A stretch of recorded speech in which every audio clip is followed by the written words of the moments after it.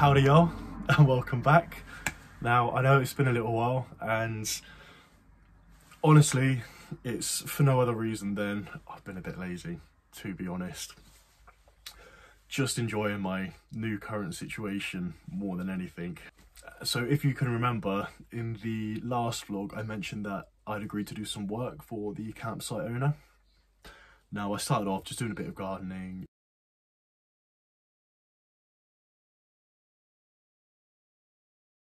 uh, it kind of led to getting some more jobs, so, such as like digging the holes for posts. I've spent the last couple of days doing some painting.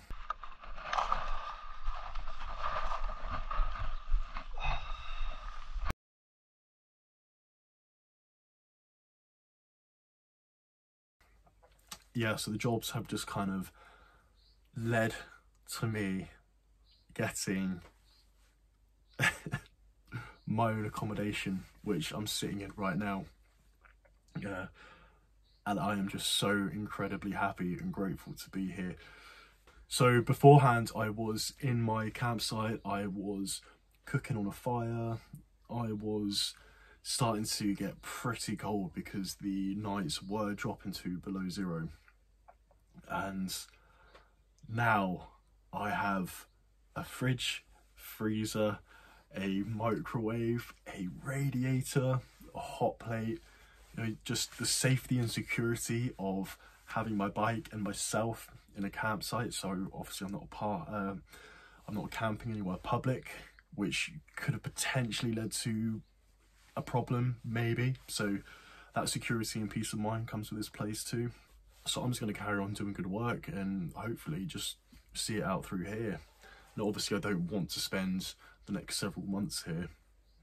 And, you know, I'm keeping my fingers crossed that the lockdown doesn't last that long. I'm thinking, I'm hoping two months maximum, but, you know, who knows, we can only see. Another thing that has been bringing me some immense amount of joy during this coronavirus is seeing all of the conspiracy theories that come out of this horrible crisis. Now, if you haven't seen any, I thoroughly recommend after this video just looking through YouTube to come across a few of these. Now, I'm not going to go through all of them, but some of them are pretty wacky and far out there.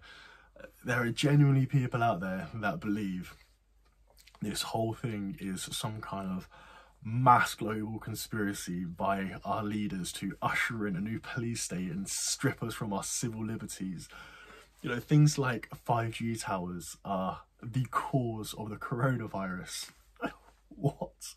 I was speaking to my brother earlier and he mentioned that I think a man in Manchester has actually gone out of his way to burn a 5G tower because he genuinely believes that the coronavirus has been caused by 5G towers. Oh yeah, there's some mad people in this world. One thing I'm not looking forward to, or one thing that is worrying me, is what's going to happen when this hits the third world countries. You know, people who live in close confinement with one another, who already have a lot of underlying health conditions, such as hepatitis and HIV, and, you know, are living in countries without the healthcare systems to support them. Already seeing images from places like India with this mass migration from immigrants who, you know, live hand to mouth day by day and, you know, are trying to escape this lockdown. It's, uh, it's going to be interesting to see. Um, I'm not going to enjoy watching it, that's for sure. Uh, and, you know, my biggest concern would be that this actually turns into a new wave of mass migration from these people actually moving to the more economically developed countries such as Europe. I mean, how would the governments handle that? You know, they couldn't let them in because it would create another wave, it would create another lockdown and do far more damage to the global economy, far more than we're already experiencing. So, I, who knows what's going to happen? Nobody knows. Let's just keep our fingers crossed and hope for the best.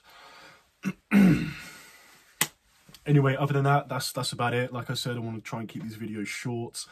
Um, just a fairly quick update to kind of introduce you to my new situation, which is wicked.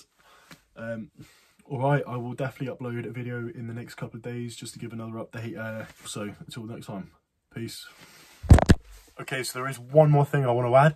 It is just a massive shout out to everyone in the traveling community who has decided to stay put and see this thing through wherever they are in the world now.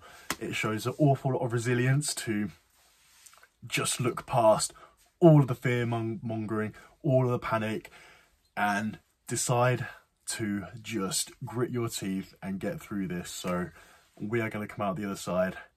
Nice one for staying put.